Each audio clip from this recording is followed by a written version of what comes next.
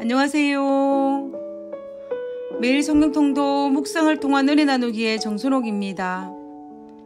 오늘의 제목은 사랑받기 위해 태어난 사람입니다. 오늘 성경 본문의 배경은 스바냐 3장입니다. 스바냐 3장 17절에 너희 하나님 여호와가 너희 가운데 계시니 그는 구원을 베푸실 전능자이시라. 그가 너로 말미암아 기쁨을 이기지 못하시며 너를 잠잠히 사랑하시며 너로 말미암아 즐거이 부르며 기뻐하시리라 하리라. 스바냐 선지자가 활동한 시대는 유다의 국군이 기울어가는 요시아 통치 초기에 해당합니다. 아마도 하박국 선지자와 비슷한 시기에 활동한 선지자일 것입니다. 유다의 심판과 멸망을 예고한 선지자 스바냐는 스바냐 3장에서 심판과 멸망 중에서 그 환난 날에 남은 자들을 향한 하나님의 기쁨을 이야기하는 부분이 있습니다. 그들은 스바냐 3장 12절에서는 여호와의 이름을 의탕하는 자라고 이야기했고 13절에서는 이스라엘의 남은 자라고 이야기했습니다. 하나님은 그들로 말미암아 여호와의 이름을 의탁하는 자로 말미암아 하나님의 남은 자로 말미암아 기쁨을 이기지 못하신다라고 고백하시는 것입니다. 하나님의 기쁨의 원인이 된다라는 것입니다. 저는 지금도 잊지 못하는 감동의 순간이 있습니다. 늦은 나이 35세 첫 아이를 임신하여 아이를 출산했을 때 3일 동안 진통을 겪으면서 결국 수술을 통해서 첫 아이를 출산하고 그 아이를 안았을 때의 그 감동 말입니다. 그리고 그 아이가 성장해 가는 모습을 보면서 저는 기쁨을 이기지 못했던 많은 순간들을 기억합니다. 잠들어 있는 아이의 얼굴을 보고 있을 때, 장난스러운 아이의 얼굴을 보고 있을 때, 맛있게 먹고 있는 아이의 오물거리는 입술을 보고 있을 때, 멀리서 엄마라고 부르며 달려오는 아이를 두 팔로 안았을 때, 그리고 아이와 장난을 칠 때, 아이의 깔깔거리는 웃음소리를 들을 때, 나는 나의 기쁨을 이기지 못합니다. 그날의 피로가 봄날 눈 녹듯이 다 풀린 듯하고 걱정 건심이 다 사라지는 것 같습니다. 그리고 나의 허락된 선물인 이 아이가 얼마나 소중한지 그 기쁨을 줄채할 수가 없습니다. 아이를 붙들고 안고 뽀뽀를 하고 뒹굴고 나의 기쁨을 주체할 수 없어 큰 소리를 내며 웃어댑니다. 나는 아이에 대한 기쁨을 이기지 못합니다.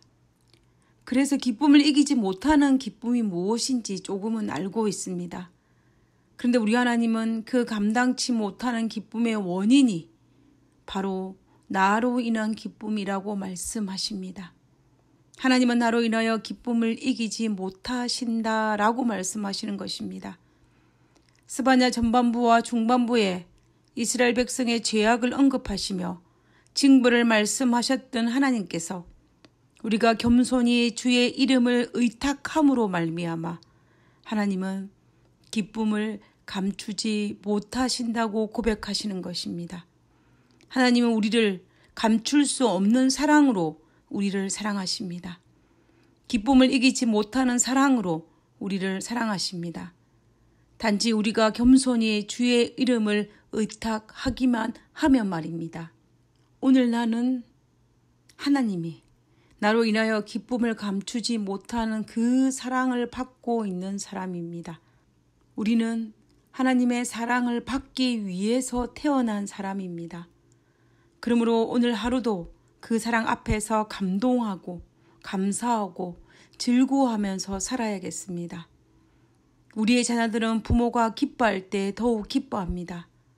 우리가 기쁨을 이기질 못한 기쁨과 행복을 가질 때에 우리의 자녀들은 더 행복하고 기뻐합니다.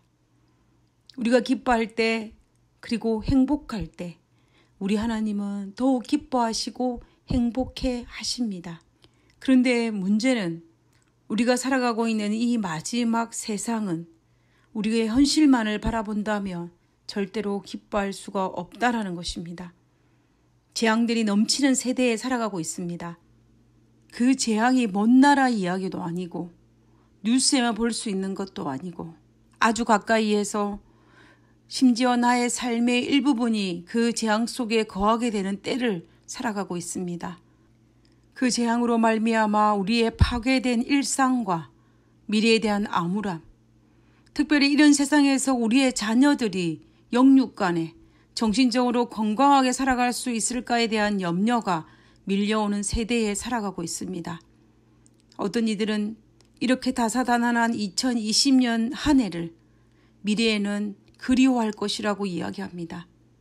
왜냐하면 우리에게 버거운 2020년이지만 미래에는 더 버거운 세상이 올 것이기 때문에 지금 우리가 버겁다고 생각한 2020년은 미래에는 편안하다 안전하다 할 세상이기 때문에 2020년을 그리워할 것이라고 이야기하는 것입니다. 그렇지만 우리는 기뻐할 수 있는 이유가 있습니다. 그것은 약속에 대한 믿음입니다. 무엇에 대한 약속의 믿음입니까? 단지 우리가 겸손히 여호와의 이름을 의탁하며 우리의 죄악을 용서하시겠다는 약속에 대한 믿음, 우리의 원수를 쫓아내시겠다는 약속에 대한 믿음, 그리고 우리 하나님께서 우리 가운데 계시겠다는 약속에 대한 믿음, 그리고 다시는 화를 당하지 않을 것이라는 약속에 대한 믿음입니다. 그러므로 그 약속으로 말미암아 우리는 우리가 밟고 있는 이 세상으로 말미암아 절망하기보다는 하나님의 약속으로 말미암아 기뻐할 수 있는 것입니다.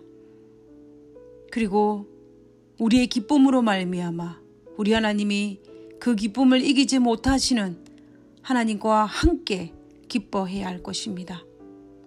오늘 하루도 사랑받는 자로 태어나 사랑받는 자로 살게 하시고 사랑받는 자에게 상을 베푸시는 하나님을 인하여 더욱 기쁨을 누리는 오늘 하루가 되기를 진심으로 바래봅니다. 하늘에 계신 하나님, 비록 우리가 살아가는 세상이 어둡고 암울하고 희망이 없어 보이지만 하나님께서 우리에게 약속하신 그 약속으로 말미암아 우리가 기뻐하오니 주여 우리의 기쁨이 세상이 뺏어가지 못하도록 하여 주시옵소서. 그리고 우리를 인하여 기뻐하고 그 기쁨을 감추지 못하시는 그 하나님으로 인하여 우리가 더욱 기뻐하고 더욱 즐거워하며 이 험악한 세상이지만 기뻐하는 그리스도인의 삶을 살 수 있도록 도와주시옵소서. 오늘 하루의 삶이 아버지께 영광이 되게 하여 주옵기를 간구하며 거룩하신 예수님 이름으로 기도드렸습니다. 아멘.